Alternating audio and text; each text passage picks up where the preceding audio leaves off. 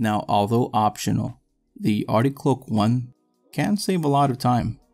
So if you don't have this, choose another method that grants you access to the tree spirits quickly, since you're going to be heading to the Grand Tree several times, so it'll be optimal to have a quick route. To begin the quest, speak to King Shareen in the Grand Tree.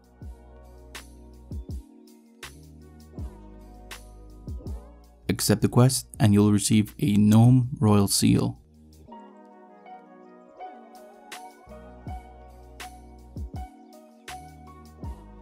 Right click the ladder right beside you and head to the top.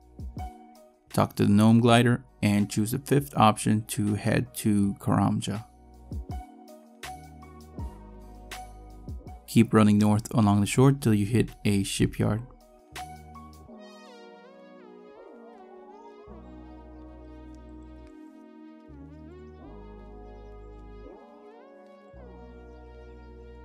Attempt to open the door this conversation will take a while, but once you've shown him the royal seal, head through the gate.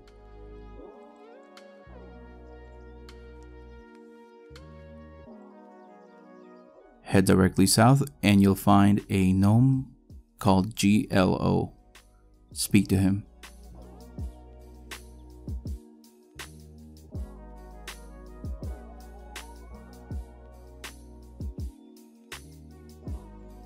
Once you've spoken to him, head back to the king.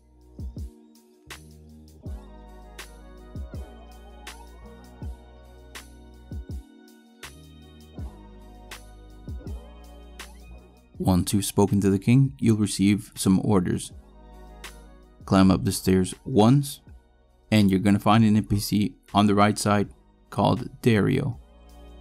Go ahead and speak to him, chat options on screen it is a lengthy conversation.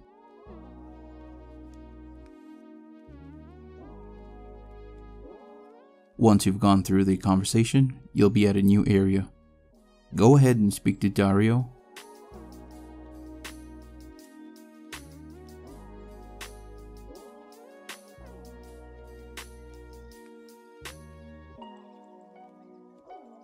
Then speak to Waydar and choose the fourth chat option.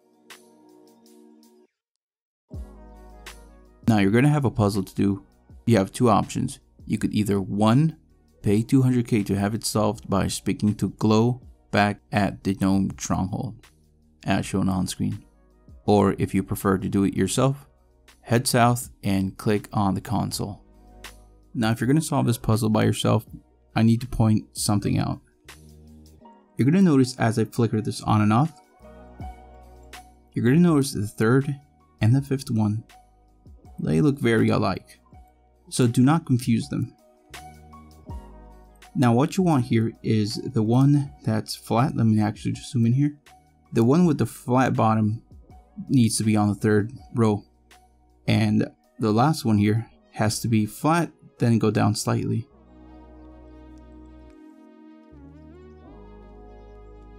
Once you've solved the puzzle, there will be a cutscene.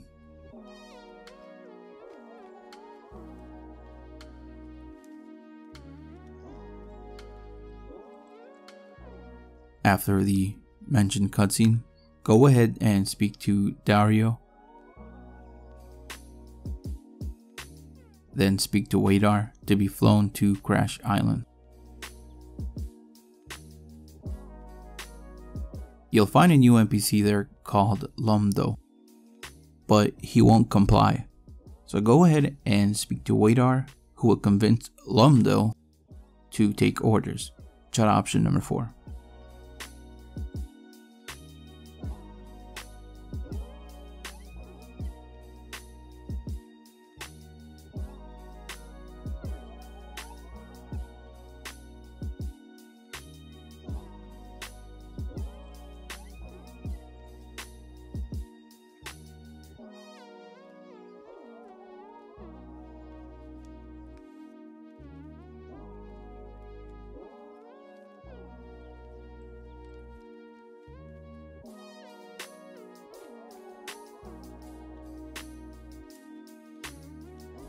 Now you're going to find yourself in Ape Atoll.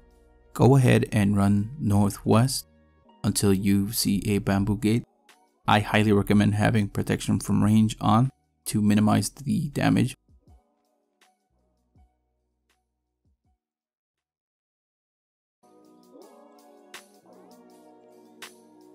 Eventually you will succumb to all the arrows and you'll find yourself in a jail cell.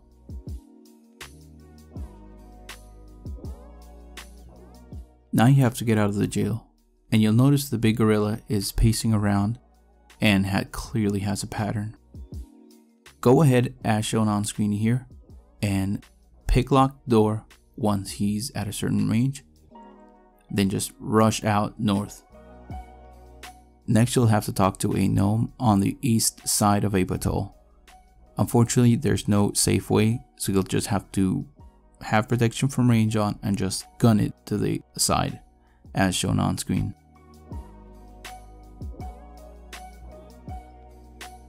Once you've found him, speak to him.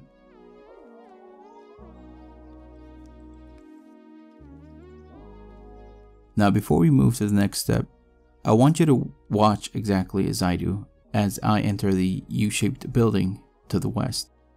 Now there's an NPC there and make sure he doesn't see you or else he will summon guards to come and you'll be thrown back into the jail cell. Also you'll notice a discoloration on the floor. Stay on the dark side in order to avoid detection. Go ahead and search the crate that is the closest to the trapdoor in the center while avoiding detection.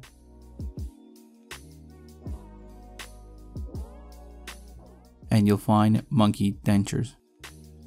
Then go ahead and search the southern eastmost crate. But first make sure you're at high health as you might take up to 2.5k damage. Choose the first chat option.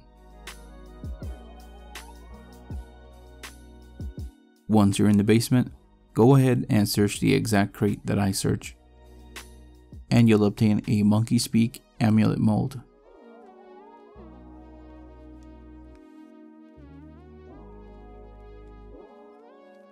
Go ahead and climb the rope right beside where you fell, and prepare to run like hell to the gnome on the east side of Ape Atoll once again.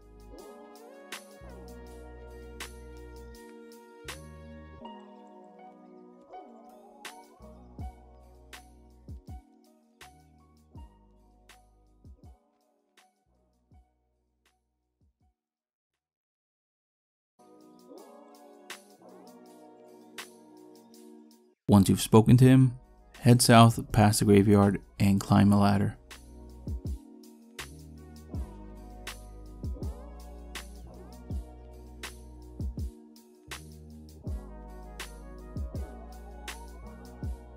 Then jump off the ledge. Once you're back at the starting point of Ape Atoll, head west until you see a dungeon sign on your minimap and climb down.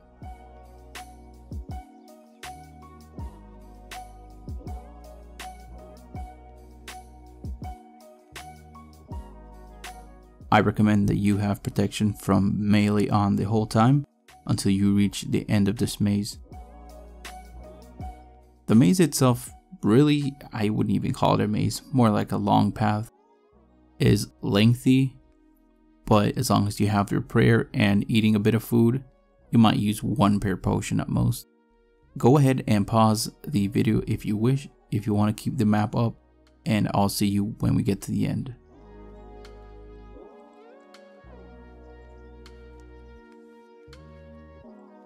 At the end of the tunnel, you're going to find an NPC called Zooknock, who I'm just going to call Zook from now on.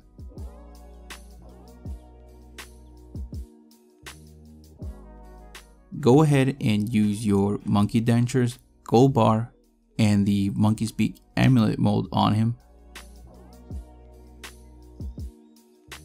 And you will receive an enhanced bar.